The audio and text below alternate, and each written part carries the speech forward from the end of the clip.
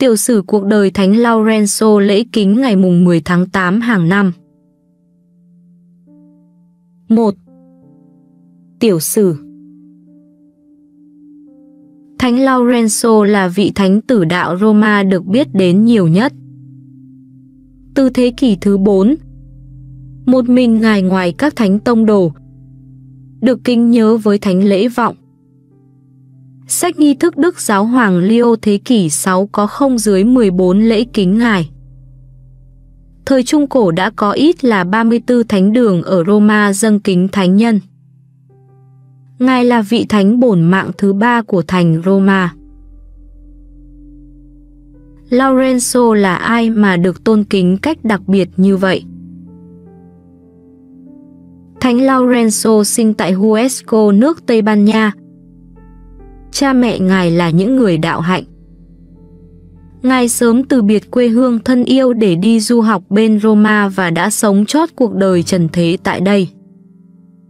Ngài được chọn thành một trong bảy phó tế của giáo hội chịu trách nhiệm giúp đỡ người nghèo túng và Ngài được giao cho trách nhiệm quản lý tài sản của giáo hội. Khi sự cấm đạo dưới thời hoàng đế Valerian bùng nổ, Thánh giáo hoàng Sixtus bị kết án tử hình cùng với sáu phó tế khác. Khi Đức giáo hoàng bị điệu ra pháp trường, Lorenzo đi theo khóc lóc nức nở. Ngài hỏi, cha ơi, cha đi đâu mà không cho nô bộc này theo? Đức giáo hoàng trả lời, con ơi, ta không bỏ con đâu.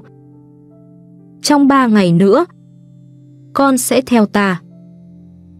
Nghe thấy thế, Lorenzo thật vui mừng. Ngài về phân phát hết tiền của trong kho cho người nghèo và còn bán cả các phẩm phục đắt tiền để có thêm của cải mà phân phát. Khi những điều này tới tai hoàng đế Decio, ông truyền bắt giam Lorenzo. Thánh nhân cải hóa được viên gác ngục Hippolyte bị điệu tới trước viên tổng trấn Valeriano. Ngài được lệnh phải nhượng lại các tài sản của giáo hội. Được dành cho 3 ngày để thu thập của cải. Ngài đã mang tất cả tài sản phân phát cho kẻ nghèo. Hết hạn Ngài dẫn họ tới trình với tổng trấn Valeriano và nói, Đây là tài sản của giáo hội mà nhà vua cần. Viên tổng trấn nổi giận buộc thánh nhân phải dâng lễ tiến các thần minh. Từ khước, thánh nhân phải chịu mọi cực hình, bị nướng trên sắt nung đỏ.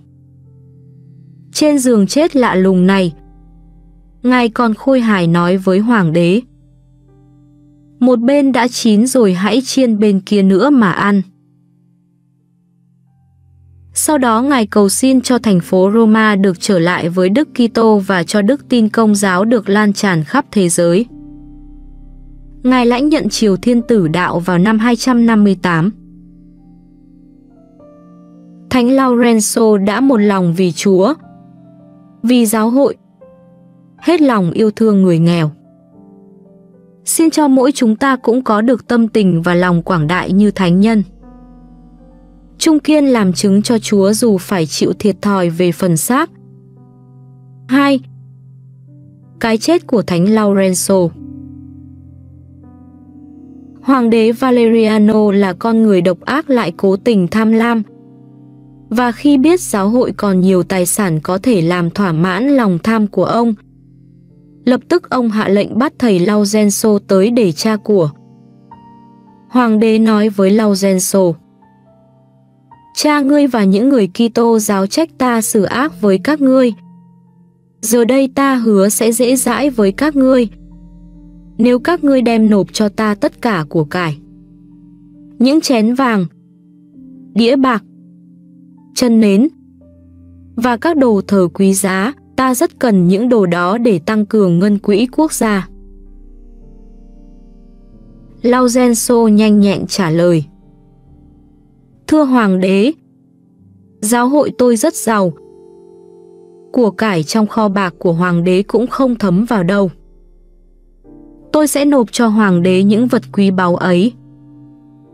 Vậy xin Hoàng đế cho tôi ít ngày để kịp thu thập của cải đó lại. Vậy xin hoàng đế gia hạn cho tôi ba ngày thôi và đồng thời cử quan lãnh binh Hippolyte giúp đỡ. Trong mấy ngày sống bên cạnh Lorenzo, Hippolyte được mắt thấy tai nghe những việc bác ái và đời sống thánh thiện của Lorenzo. Được ơn Chúa thúc giục tâm hồn, quan lãnh binh và toàn gia gồm 19 người xin trở lại đạo và được thầy phó tế Lorenzo rửa tội cho. Ít ngày sau Hippolyte đã dâng mạng sống vì đức tin một cách quảng đại. Hai cốt ngài an táng trên đường Tibua sau được di rời về Luco. Giáo hội dâng lễ kính thánh Hippolyte ngày 13 tháng 8. Còn Lorenzo, ngài công hiên đi khắp thành phố Roma, tập trung các bệnh nhân mà giáo hội vẫn nuôi sống, gồm mọi thứ phong, hủi, mù loà, quẻ quạt. Độ ngàn rưỡi người. Ngài mướn những chiếc xe ngựa và chở họ thẳng tới cung điện nhà vua. Thấy công việc kỳ lạ của thầy tổng phó tế, dân chúng Roma bảo nhau đi xem đông đúc. Đoàn xe ngừng lại trước sân rồng. Lorenzo tâu trình lớn tiếng. Tâu hoàng đế, đây là tất cả kho tàng quý báu của giáo hội chúng tôi. Đây là những người cùng khốn, nhưng nhờ công việc cứu trợ họ mà chúng tôi đã tích trữ được nhiều của quý trọng trên trời. Hoàng đế hãy đón nhận tất cả những của cải này để dùng cho dân thành Roma và cho chính hoàng đế. Biết mình bị lừa gạt và những lời thách thức khiêu khích đó, Valeriano đỏ mặt tía tai nổi giận đùng đùng quát. Ngươi phải chết. Nhưng đừng tưởng sẽ được chết ngay đâu. Ta sẽ kéo dài cái chết của ngươi bằng trăm ngàn cực hình. Người lính chiến dũng cảm của Chúa Kitô mạnh dạn thưa. Ngài tưởng tôi sợ cực hình sao? Ô không! Ngài cho những cực hình đó là dữ tợn, song tôi không sợ chút nào, mà còn ước mong từ lâu. Nhà vua nói, ngươi tưởng rằng những của quý kia sẽ cứu ngươi thoát khỏi những cực hình này sao? Tôi cậy vào của cải trên trời, là lòng Chúa nhân tử thương xót. Chúa sẽ ban cho hồn tôi được thanh thoát, dù khi thân xác tôi phải phanh ra trăm nghìn mảnh. Bạo vương truyền đánh đòn thánh nhân lần nữa đồng thời lệnh cho Lý Hình nung đỏ những thanh sắt dí vào khắp mình thánh nhân. Không kêu la than trách. Thánh nhân chỉ ngửa mặt lên cầu nguyện, lạy Chúa Giêsu, con một Thiên Chúa. Xin hãy thương đến tôi tớ Chúa đã bị cáo là không chối danh Chúa, đã bị tra khảo vì dám tuyên xưng danh Thánh Chúa giữa trăm ngàn cực hình. Bạo vương tức giận quát. Mày là thằng phù thủy. Mày coi khinh cực hình.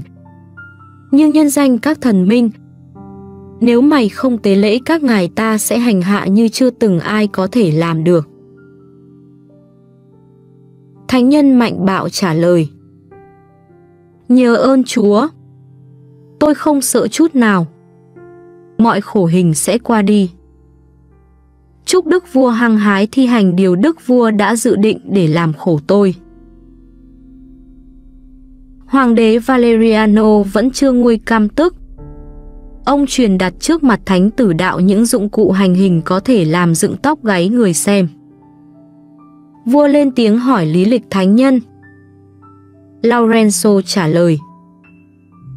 Quê tôi ở Tây Ban Nha, từ nhỏ tôi sang ở Roma được rửa tội và giáo huấn trong đức tin công giáo. Nhà vua nói, Người gọi Thiên Chúa đấng dạy ngươi bất kính các thần minh và coi thường các khổ hình phải không? Nhân danh Chúa Kitô, tôi không sợ cực hình chút nào. Nghe lời thách thức này, bạo vương căm giận như điên cuồng, Ông truyền nung đỏ giường sắt và áp mình thánh nhân vào lửa. Nhưng vì toàn thân ngài đã bị vết thương nên dù có bị đốt ngài cũng không cảm thấy đau đớn hơn, ngài nguyện thầm. Lại Chúa, xin nhận của lễ sông mùi ngọt ngào này. Rồi quay lại phía bạo vương ngài nói. Tâu Đức Vua Đức Vua phải biết rằng lửa này chỉ làm cho tôi tươi tỉnh hơn, nhưng nó sẽ dành sức nóng của nó để thiêu đốt ngài đời đời. Người ta thấy Valeriano có vẻ bối rối, bọt mép sùi ra. Ông đã bị mù quáng trong giận dữ. Thánh nhân tươi cười nói thêm. Ngài không thấy nửa người tôi bị dán chín kỹ rồi sao? Hãy lật phía kia dán cho hết đi để ngài có thể dùng thịt dán này. Khi Lý Hình đã lật ngài lên, ngài nói đã chín rồi, mời nhà vua ăn đi. Lúc đó đoàn giáo dân sợ sệt đứng chung quanh thấy một vòng sáng lạ lùng bao bọc ngài và xác ngài tỏa ra hương thơm ngào ngạt. Biết rằng cuộc chiến đấu sắp hoàn tất, Thánh Lorenzo tạ ơn Thiên Chúa rằng Lạy Chúa tôi, tôi đội ơn Chúa, vì nhờ Chúa mà tôi sắp được vào nước hạnh phúc. Rồi Ngài tắt thở, Hôm đó là ngày mùng 10 tháng 8 năm 258. Sa Thánh Nhân được hai người lính kính cẩn an táng một nơi cách thành phố Roma 2.000 thước. Tới thế kỷ 4 vua Constantino đã xây cất một ngôi thánh đường nguy nga trên chính mộ thánh nhân và thánh đường mang tên thánh nhân. 3. Thông điệp và tính thời sự các lời nguyện thánh lễ cũng như các bản văn khác trong phụng vụ giờ kinh tô điểm hình ảnh phó tế Lorenzo, vị tử đạo nổi tiếng nhất của giáo hội Roma. Lời nguyện trong ngày nhắc lại lòng bác ái nồng nhiệt của vị thánh phó tế luôn trung thành với việc phục vụ đến nỗi được vinh quang tử đạo. Như lời thánh Augustino đã mô tả rất xác đáng, anh em biết đấy. Trong giáo hội ở Roma, Ngài thi hành chức năng phó tế. Chính tại đây Ngài trình bày về máu Thánh Đức Kitô và chính tại đây Ngài đổ máu mình vì thánh danh Đức Kitô, phụng vụ bài đọc, bài giảng của Thánh Augustino. Chuyện về các hành vi trong cuộc khổ nạn của Thánh Laurenzo kể rằng thánh nhân bị bắt vì không tuân luật thuế quan buộc nộp các tài sản giáo hội cho chính quyền hoàng đế. Sau khi xin khất lại, Ngài tập hợp những người nghèo khó, ốm đau lại và hai ngày sau, Ngài đưa họ đến trước mặt quan quyền và thưa đây là tài sản của giáo hội. Thánh nhân liền bị bắt và tra khảo nhiều lần. Ngài đã trả lời các lý hình, tôi tôn thờ Thiên Chúa của tôi. Tôi chỉ phụng sự một mình Chúa, nên tôi đâu sợ cái tra khảo của các ông bị đặt trên một vỉ sắt dưới để than cháy. Ngài còn quay lại phía Lý Hình nói, anh chở tôi được rồi đấy. Bên này chín rồi. Đức giáo hoàng Damas cho khắc trên mộ ngài, đòn roi. Lý Hình Lửa thiêu Hình khổ. Xích xiềng. Tất cả đều thua đức tin của Thánh Laurenzo. Niềm tin và lòng bác ái của Thánh Laurenzo cũng như đức can đảm anh hùng của Ngài qua nhiều thế kỷ là nguồn cảm hứng cho lời cầu nguyện của giáo hội. Lòng đạo đức của giáo dân. Rất nhiều tranh ảnh. Thậm chí cả kiến trúc. Quả thế, Philip II để thực hiện lời hứa với Thánh Laurenzo đã xây Escorio trong tỉnh Madrid theo dạng thiết kế một dàn sắt nhắc nhớ dụng cụ tra tấn thánh phó tế Lorenzo xưa. Còn thánh Bernardo thế kỷ 12 thì dâng tu viện Toronet vùng Va để kính thánh nhân. Thánh Lorenzo được nhắc tới trong lời nguyện thánh thể và có tên trong kinh cầu các thánh. 4. Kinh cầu ông Thánh Lorenzo Chúng con lại ơn ông Thánh Lorenzo là đấng xưa đã làm nhiều phép lạ vô cùng, làm cho kẻ tối được sáng, chia các của cải cho kẻ khó khăn. Chúng con xin ông Thánh Lorenzo cầu cho chúng con, đáng chịu lấy những sự Chúa Kitô đã hứa.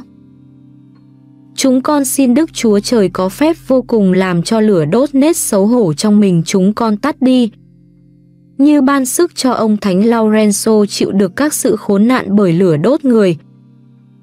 Vì Đức Chúa Giêsu Kitô Chúa chúng con. Amen.